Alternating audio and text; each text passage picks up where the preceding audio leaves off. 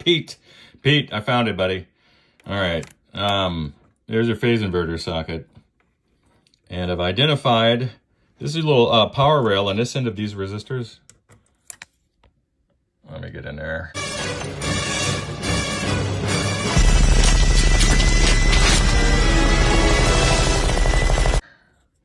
This, and look at that, a little scorch mark, a little carbonara down there, huh? Um, this is your 100K plate lead. This is your 82K plate lead. And um, that's the one that's doing it. I'll set up the camera real quick and then show you the test. But I think I can get my iron in there without without uh, any funny business. Um, actually, I have an idea even if that doesn't work. So